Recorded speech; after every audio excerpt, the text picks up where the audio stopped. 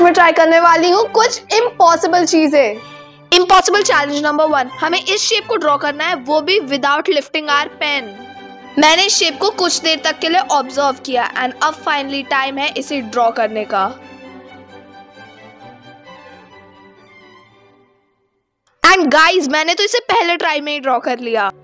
Second challenge के लिए हमें इस पूरी एक ग्लास के पानी को एक सांस में खत्म करना है। मैंने इसे ट्राई किया, लेकिन मेरे साथ ये हुआ।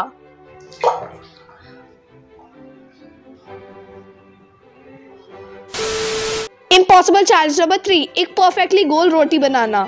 यार, दिखने में तो बहुत ज़्यादा इजी लग रहा था। मैंने इसे काफ़ी बार ट्राई किया, लेकिन मेरी रोटी कुछ इस तरह की बनी।